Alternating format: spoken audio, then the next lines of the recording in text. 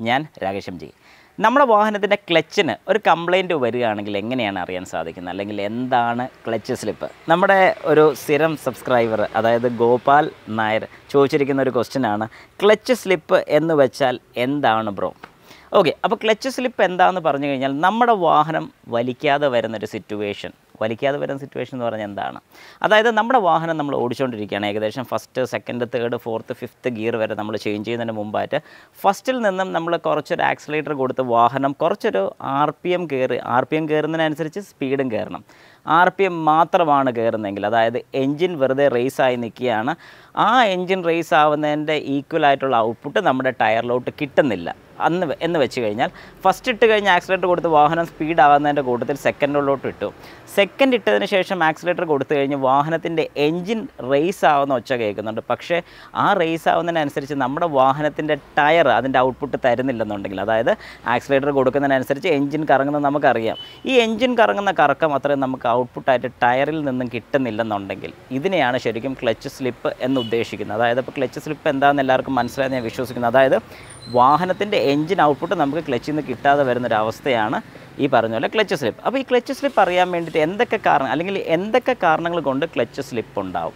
രണ്ട് main reason കൊണ്ടാണ് ക്ലച്ചിന് slip ഉണ്ടാവുന്നത്. ഒന്ന് നമ്മുടെ ക്ലച്ച് തീരുന്ന സമയത്ത് അതായത് നമ്മുടെ വാഹനത്തിന്റെ ക്ലച്ച് നമ്മുടെ യൂസേജ് ചെയ്ത് അതായത് നമ്മുടെ യൂസേജ് കൊണ്ട് തീരുന്ന സമയത്ത് ഇത് തീരുന്നതെന്ന് പറഞ്ഞു കഴിഞ്ഞാൽ ഒന്നെങ്കിൽ നമ്മൾ ക്ലച്ചിന്റെ പുറത്ത് കാൽ വെച്ച് ഓടിക്കുകയാണെന്നുണ്ടെങ്കിലോ അല്ലെങ്കിൽ വാഹനത്തിന്റെ കാലപ്പഴക്കം കൊണ്ട് നമ്മുടെ ഹൈ റേഞ്ച് ഓട്ടവും കാര്യങ്ങളൊക്കെ കൂടുതൽ വെച്ച് ഒരു ഏകദേശം ഒരു വൺ ലാക്ക് കിലോമീറ്ററൊക്കെ അടുപ്പിച്ചാകുമ്പോഴത്തേക്ക് ഇത് തീരാനുള്ള ചാൻസസ് കൂടുതലാണ്.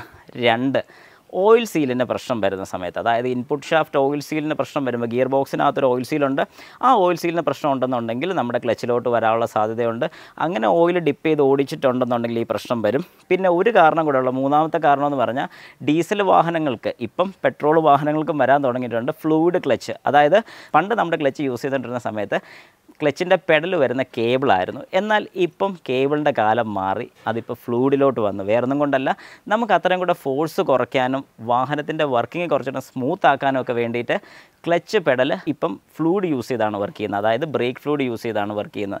ക്ലച്ച് ചവിട്ടുന്ന സമയത്ത് അതായത് നമ്മൾ എപ്പോഴാണോ ക്ലച്ച് പെഡൽ അപ്ലൈ ചെയ്യുന്നത് അന്നേരം നമ്മുടെ ക്ലച്ചിന്റെ അവിടെ ഒരു സ്ലീവ് സിലിണ്ടർ എന്ന് പറയുന്ന ഒരു സ്ലീവ് സിലിണ്ടർ എന്ന് പറയുന്ന ഒരു യൂണിറ്റ് വർക്ക് ചെയ്യുന്നുണ്ട്.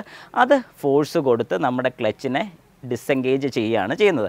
അപ്പോൾ ഇതിനകത്തുള്ള ഫ്ലൂയിഡ് ലീക്ക് വന്നു കഴിഞ്ഞാലും ഈ പറഞ്ഞതുപോലെയുള്ള പ്രശ്നങ്ങൾ വരാനുള്ള സാധ്യതകളുണ്ട്. പ്രത്യേകിച്ച് ഡീസൽ വാഹനങ്ങൾക്കാണ് ഏറ്റവും കൂടുതൽ പെട്രോൾ വാഹനങ്ങൾക്ക് അത്രയും പ്രശ്നങ്ങൾ വരുന്നില്ല. കാരണം പെട്രോൾ വാഹനങ്ങൾക്ക് പുറമെയാണ് ഈ ഒരു യൂണിറ്റ് കൊടുത്തിരിക്കുന്നത്. എന്നാൽ ഡീസൽ വാഹനങ്ങൾക്ക് ഇത് റിലീസ് ബെയറിംഗ് തന്നെയാണ് ഈ ഒരു യൂണിറ്റ് വരുന്നത്. അപ്പോൾ ഇങ്ങനെ വരുന്ന സമയത്തും ഈ ഓയിൽ ക്ലച്ചിൽ വീണിട്ടുണ്ടെന്നുണ്ടെങ്കിൽ ഈ പറഞ്ഞതുപോലെ ക്ലച്ച് സ്ലിപ്പാവാനുള്ള ചാൻസസ് വളരെ കൂടുതലാണ്. അപ്പോൾ നമുക്കിത് മനസ്സിലാക്കാൻ സാധിക്കും. ഞാൻ പറയുന്ന പോലെ ഒരു കയറ്റമൊക്കെ കയറുന്ന സമയത്ത് നമുക്ക് പെട്ടെന്ന് ഇങ്ങനെ ഒരു കംപ്ലയിന്റ് ഉണ്ടെങ്കിൽ കിട്ടുന്നതായിരിക്കും. ഇങ്ങനെ ഒരു കംപ്ലയിന്റ് കാണിക്കാൻ തുടങ്ങിയിട്ടുണ്ടെങ്കിൽ നിങ്ങൾ വെച്ചുകൊണ്ടിരിക്കരുത് ഉറപ്പായിട്ടും നമ്മുടെ വാഹനത്തിന്റെ ക്ലച്ച് റീപ്ലേസ് ചെയ്ത് വിട്ടോണം. കാരണം റീപ്ലേസ് ചെയ്യാതെ പിന്നെയും ആ ഒരു കണ്ടീഷനിൽ ഓടിച്ചു കഴിഞ്ഞാൽ വാഹനത്തിന്റെ ഫ്യൂൽ എഫിഷ്യൻസിയെ ബാധിക്കും. എഞ്ചിനൊക്കെ ഒരുപാട് ജസ്റ്റ് കിടന്ന് റേസ് ആവുന്നല്ലാതെ അതിന്റെ ഒരു ഔട്ട്പുട്ട് കിട്ടാതെ വരുമ്പോൾ ഒരുപാട് ബുദ്ധിമുട്ടുകൾ മുമ്പോട്ട് വരാൻ സാധ്യതകൾ കൂടുതലാണ്. അതുകൊണ്ട് ഒരു കാരണവശാലും ആ ഒരു കണ്ടീഷനിൽ വാഹനം ഓടിക്കരുത്.